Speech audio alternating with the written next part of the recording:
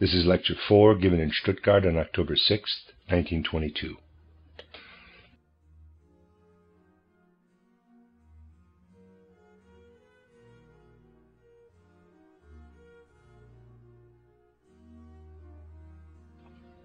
Today I shall begin with an assessment of ethics up to the end of the 19th century. I do not wish to prove that philosophical expositions can give rise to an impulse for the renewal of the moral life of human beings, but rather to show that forces that work from other sources to determine the moral life are symptomatically expressed in the philosophical expositions of ethics. We must give up the view that systems of philosophy that start from the intellect can point the way directly. Yet the whole impulse of the age expresses itself in what the philosophers say. No one will declare that our reaction to the temperature of a room is influenced by the thermometer. What the thermometer registers is dependent upon the temperature of the room. In the same way, we can gauge from what philosophers say about morality the condition of morals in general. You see, I treat philosophical expositions of ethics in rather a different way, merely as a kind of thermometer for registering conditions. Just as we know the temperature of a room by reading the thermometer, so we can find out a great deal about the undercurrents of the life of humanity in a particular region or period by knowing what the philosophers express in their presentations. Consider the following only from this point of view, as I read you a passage that was printed in 1893 in the periodical Deutsche Literatur Zeitung, German literary newspaper, that deals with Spencer's title Principle of Ethics. The reviewer says, quote, It contains, as I think, the most complete argument, supported by a crushing weight of material, that there is absolutely no such thing as one universal morality for all of humanity, nor are there any unchangeable moral laws. There exists only one norm that underlies all judgments of human characteristics and actions, namely the practical fitness or unfitness of a character or action for the given state of the society in which the judgment is made. On this account, the same things will be very differently judged according to the different cultural conditions in which they occur. The view of the present writer is that this masterpiece, Spencer's Principle of Ethics, must, from a scientific point of view at least, silence the recent attempts to base ethical judgments upon intuition, inborn feelings, or the most evident of axioms, and the like. I read this passage to you because it is characteristic of the attitude of most of the civilized world at the end of the 19th century.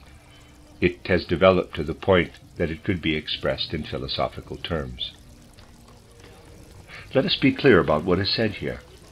The attempt is made in this very important work, Spencer's Principles of Ethics, with the crushing weight of material, that it is impossible to draw forth from the human soul moral intuitions moral axioms, that we must stop talking about moral intuitions. We can only say with certainty that people act according to their natural endowments. These actions are judged by the social surroundings. People are forced to bring their actions into line with the judgment of this social environment. From this, there arises conventional moral judgments, which are modified as human society changes from age to age.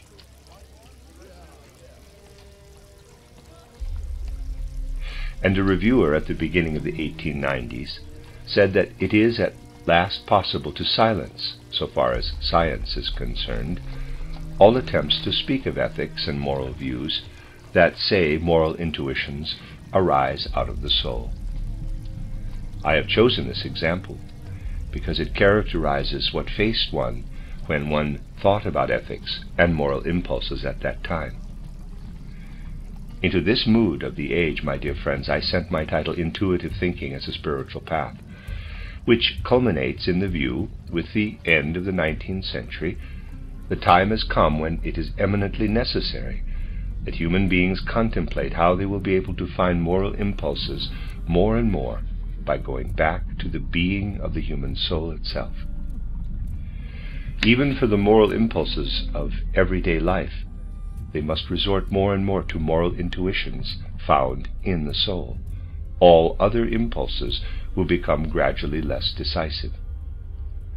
This was the situation I faced.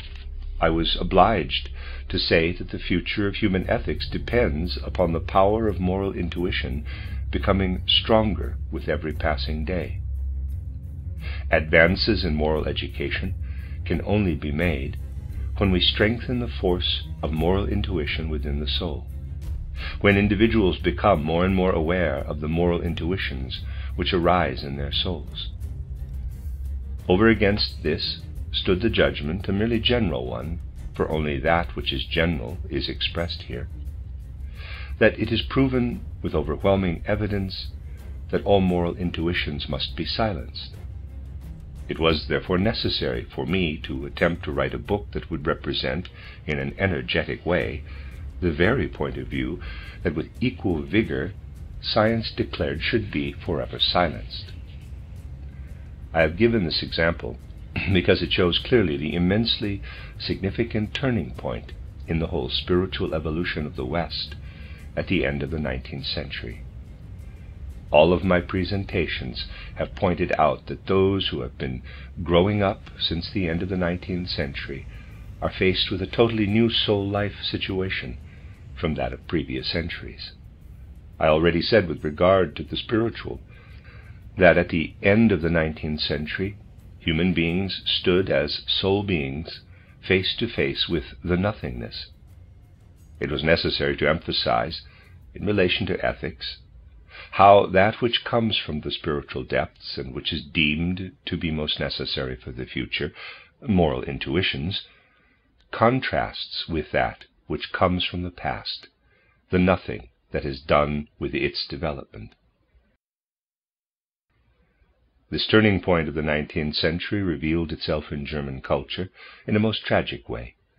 We need only mention the name of Friedrich Nietzsche. For those who lived through the transition from the 19th to the 20th century consciously, Nietzsche represents an experience of real tragedy. Nietzsche was a personality who, through the successive periods of his life, poignantly experienced that he was faced with the nothingness that nothingness which he had at first assumed to be, in quotes, something. It will perhaps not be superfluous for what you are to take into your souls during the next few days to say a few words about Nietzsche. In a certain respect, Nietzsche was the very human being who, through his tragic destiny, clearly pointed to what in the spiritual evolution of humankind at the end of the 19th century was in its twilight, making a new dawn necessary for the century just beginning. Nietzsche started from a mature scientific viewpoint. This he first met in philology in the middle of the 19th century. With a mind of extraordinary inner flexibility, Nietzsche assimilated the philological viewpoint of the middle of the 19th century and with it he absorbed the whole spirit of Greek culture. Nietzsche was not a personality to shut himself off from the general culture. The very reverse of a theoretical scholar, he accepted naturally what he found in the middle of the 19th century, namely Schopenhauer's philosophical pessimism. This made a profound impression upon him, because he sensed more deeply than Schopenhauer the decline of the spiritual life in the midst of which he was living. The only light that pointed toward the future for Nietzsche was in Richard Wagner's music. Wagner, as regards his worldview, was a follower of Schopenhauer at the time he made Nietzsche's acquaintance. Thus, towards the beginning of the last third of the nineteenth century, Nietzsche developed a view that was no theory, but the very substance of life to him, namely, that already in Greek culture the age had dawned in which the full human essence was being crushed by intellectualism. Nietzsche was not correct in regard to the complete development of intellectualism, for in the form in which Nietzsche experienced intellectualism as an all-destroying spirit, it had, as I said yesterday, only since the 15th century come upon the scene. What Nietzsche experienced was the intellectualism of the immediate present. He dated it back to the later age of Greek culture and held that the influence working so destructively upon what was livingly spiritual began with Socrates. And so Nietzsche became anti Socratic in his philosophy. With the advent of Socrates in the spiritual life of Greece, he saw intellectualism and rationality driving away an old spirituality. Not many have grasped with such innate power the contrast between the character of Greek culture as it appears in the writings of Aeschylus or of Sophocles, in the early sculpture, and in the mighty philosophies of men like Heraclitus, Anaxagoras, and others, this life of soul still full of spiritual impulses, and that other life of soul which gradually began to paralyze the true spirituality. According to Nietzsche, this began with Socrates, who confronted all world questions with intellectual questions, and who established his art of definition with regard to everything.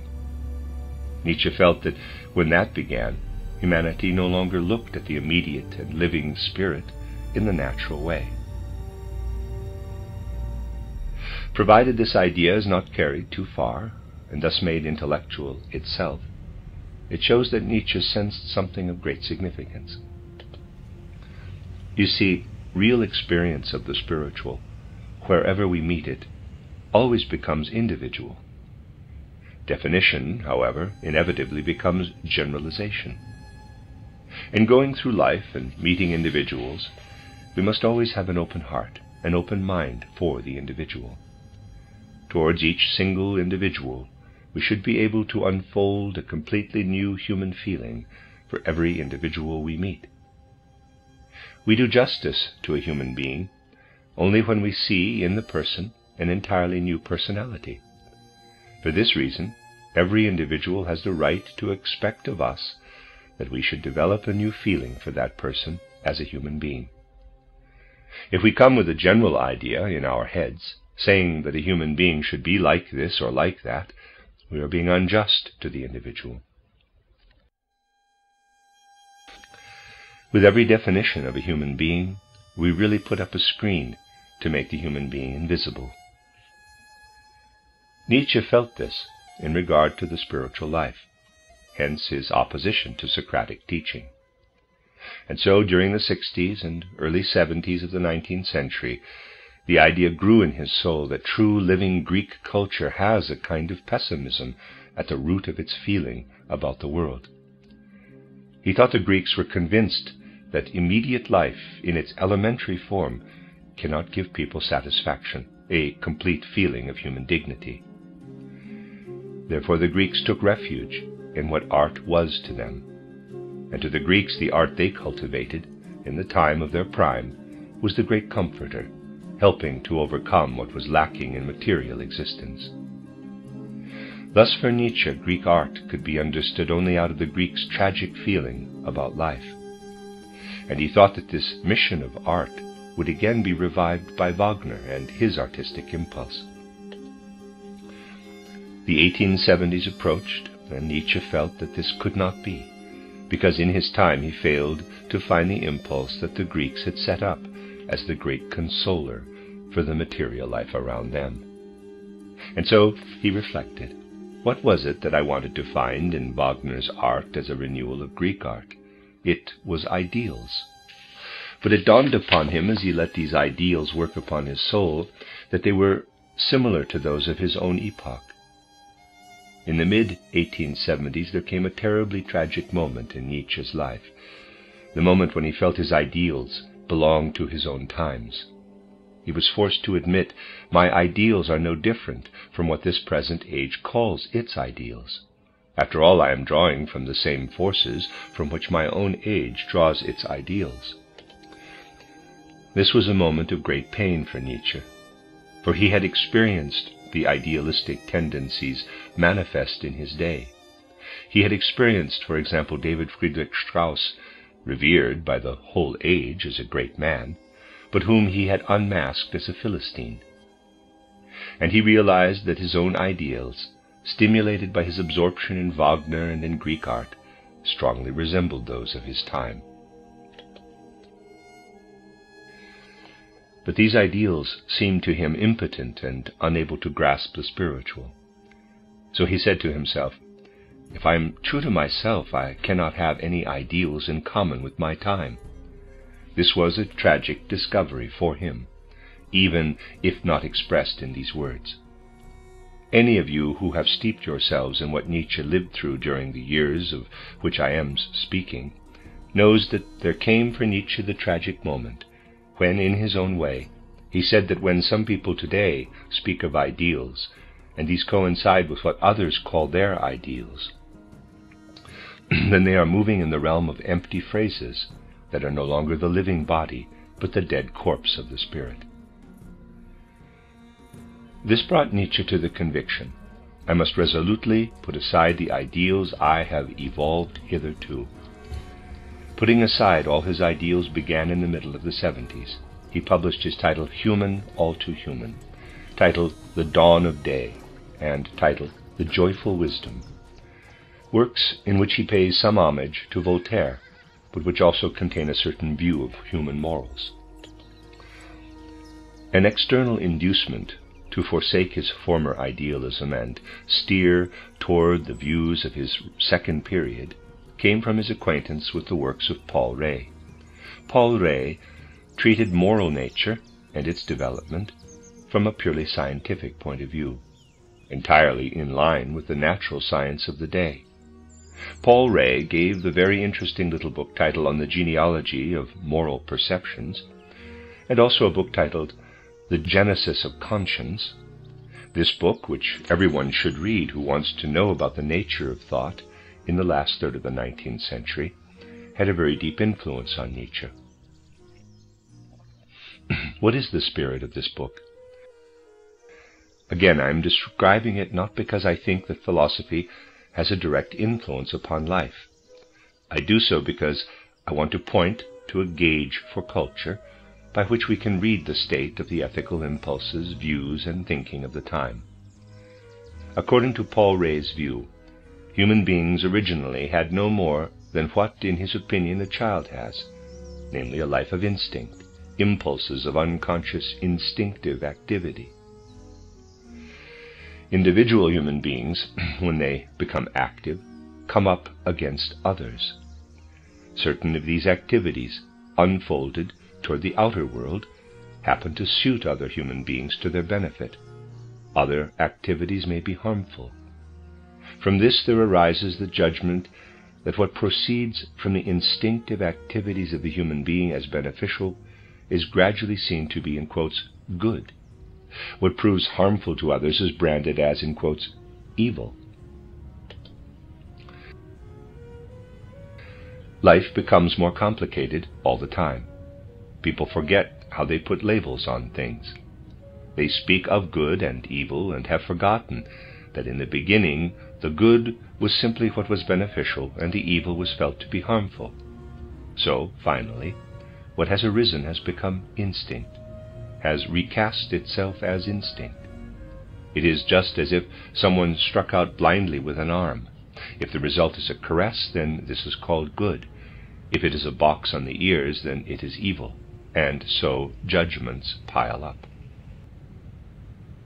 The sum of such judgments becomes instinct. Just as little as we know how to raise our hand, just so little do we know how a voice comes out of the soul and utters this or that moral judgment. This voice we then call conscience. This voice of conscience is merely what has arisen out of instinctive judgments about the beneficial and the harmful. It has become instinct, and because its origin has been forgotten, it sounds from within as the voice of conscience. Nietzsche realized fully that not everyone would agree with Paul Rée. but he was also quite clear that when views on natural science were such as they were in his day, it is impossible to think about ethics otherwise than in the way Paul Rée did. Nietzsche was thoroughly honest. He deduced the ultimate consequences as Paul Rée had done. Nietzsche bore the philosopher no grudge for having written such things. This had not much more significance for Nietzsche than what was circumscribed by the four walls of the room in which Paul Rée did his writing, just as a thermometer indicates nothing more than the temperature of the immediate environment. However, it shows something that exists in general, and Nietzsche sensed this. He felt the ethical sediment of the times in this book, and with this he agreed. For him there was nothing more important than to put aside the old empty phrase, and to say that when people talk about nebulous ideals, they make nothing clear. In fact, everything is instinct. Nietzsche often said to himself that when people are enthusiastic about certain ideals and want to enthuse others for those ideals, it is in the end because they are so constituted that when they are thinking of these ideals, they can work up the juices in their stomachs in the best way for the digestion of their food. I am putting this rather radically, but it is exactly what Nietzsche felt in the 70s and 80s of the 19th century. He said to himself, People talk about all sorts of spiritual things and call them ideals.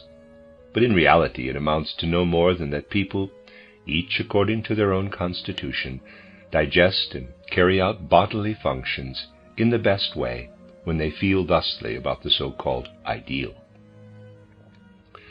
What is known as human must be divested of the empty phrase, for in truth the human is all too human. With a magnificent devotion to honesty, Nietzsche declared war on all idealism. I know that this aspect of Nietzsche has not always been emphasized. A great deal that has been said about him is pure snobbery, without anything earnest in it. So Nietzsche found himself facing the nothingness at the end of the first period of his spiritual development, and consciously facing the nothingness in a second period that began with human all too human and ended with the joyful wisdom. Finally, only one mood remained for it is impossible to reach a real spiritual content when all ideals are traced back to bodily functions. One example will show what Nietzsche's view became. He said to himself, There are people who work toward asceticism, that is to say, toward abstention from physical enjoyment. Why do they do this? They do it because they have exceedingly bad digestion and feel most comfortable when they abstain from physical enjoyment. That is why they regard asceticism as the highest aim worth striving for. But unconsciously they are seeking what makes them most comfortable. They wish to feel the greatest enjoyment in the absence of enjoyment. That absence of enjoyment is their greatest enjoyment shows us how they are constituted. In Nietzsche, who was thoroughly honest, this mood intensified to moments when he gave vent to words like these And I dwell within my own house, and have imitated no one, and laugh at every master who has not laughed at himself. In its poetic anticipation, this verse is a magnificent description of the mood that came to its climax about the turn of the nineteenth century. Yet it was already there earlier in a form that made itself felt in the depths of the soul life. Nietzsche found his way out of this second period of facing the nothingness by creating what is implicit in two ideas to which he gave poetic expression. The one was the idea of the superhuman, because for him there was ultimately nothing left but to call upon something that must be born out of the human being, but was not yet there. Secondly, after his grandiose experience of facing nothingness, there arose the idea of the eternal recurrence of the same, which came to him out of the idea of evolution. In his scientific period, he had become familiar with the idea of evolution. But as he steeped himself in what came from these thoughts about evolution, he discovered nothing that would bring evolution forward. These only gave him the idea of eternal recurrence of the same. This was his last period, which need not be described any further, although from the point of view of psychology a very great deal might be learned from it. I do not wish to do a character study, but only to indicate how Nietzsche, who was forced through illness to lay down his pen at the end of the 1880s, had experienced in advance the mood that dominated deeper souls at the turn of the 19th into the 20th century. During the last third of the 19th century, Nietzsche tried to express a mood drawn from his store of ideas, from Greek philosophy and art, from art as found in Wagner, from the philosophy of Schopenhauer, and so on. But time and again, Nietzsche himself abandoned his own views. One of his last works is called The Twilight of the Idols, or How to Philosophize with a Hammer. He felt himself as a destroyer of the old ideas. It was really very remarkable, for the old ideas had already been destroyed by the spirit of cultural evolution. During Nietzsche's youth, the store of ideas was already destroyed. Since the 14th and 15th centuries, ideas continued through tradition but came to an end in the last third of the 19th century. The old spirit was already in ruins. It was only in the empty phrase, the cliché, that these ideas lived on.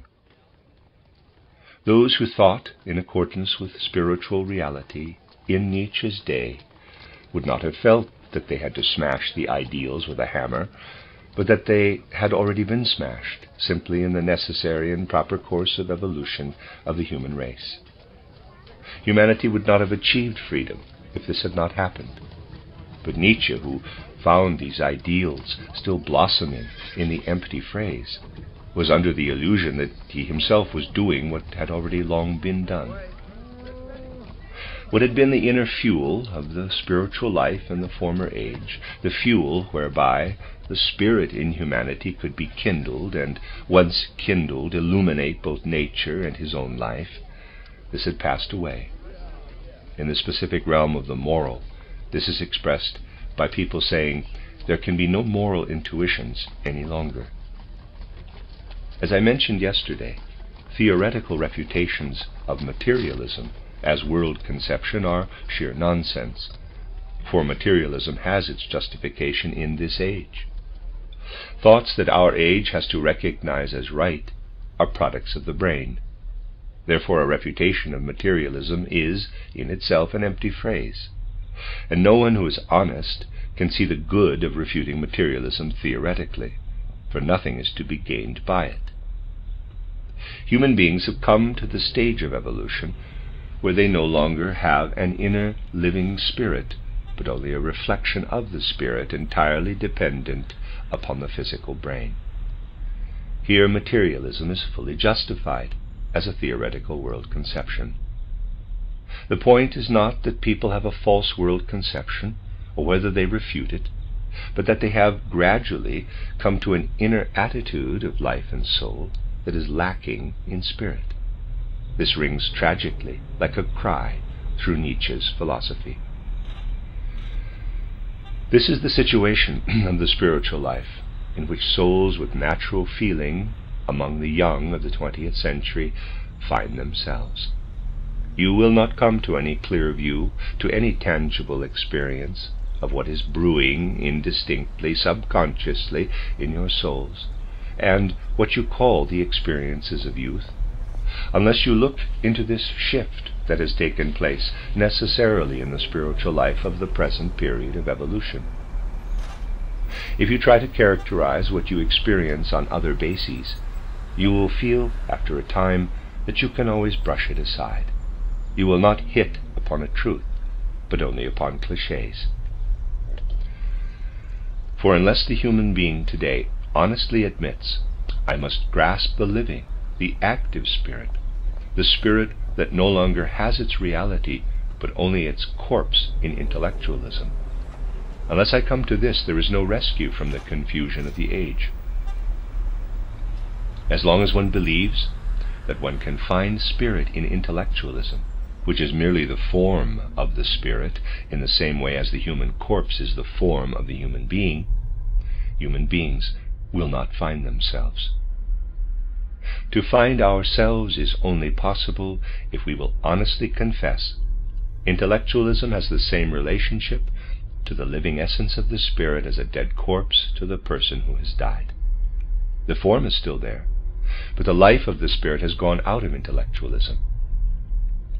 Just as the human corpse can be treated with preparations that preserve its form, as indeed Egyptian mummies show, so too can the corpse of the spirit be preserved by padding it out with the results of experiment and observation. But thereby people get nothing of what is livingly spiritual. They get nothing that they can unite naturally with the living impulses of the soul. They get nothing but a dead thing, a dead thing that can wonderfully reflect what is dead in the world, just as one can still marvel at the human form in the mummy.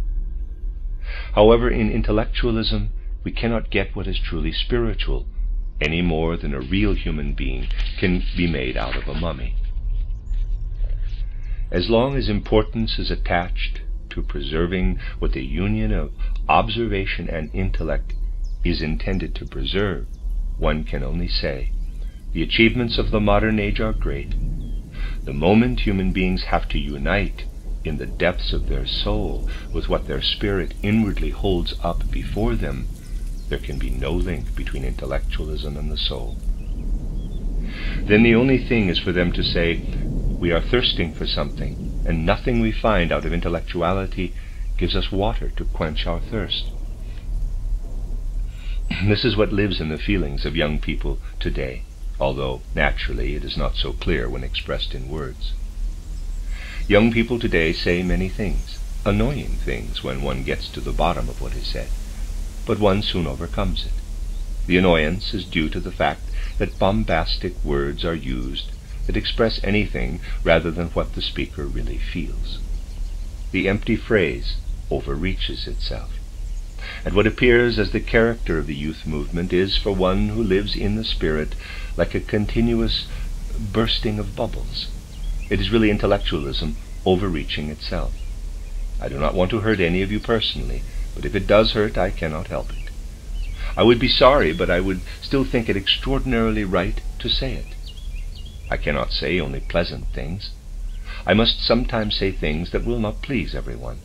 I must say what I know to be true. So, in order to characterize what is rightly there in the souls of young people today, we need something more than a revival of old concepts overreaching themselves in empty phrases. We need an intensively developed feeling for the truth. We need truth at the bottom of our souls. Truth is the alpha and the omega of what we need today. And when your chairman said yesterday that we have gotten to a point where we do not want to utter the word spirit any longer, that is in itself a confession of the truth. It would be much more prudent if our age, which has lost the Spirit, would succeed in not talking about the Spirit, because then human beings would again begin to thirst for the Spirit. Instead of this, one calls everything possible spirit and spiritual. What we need is truth.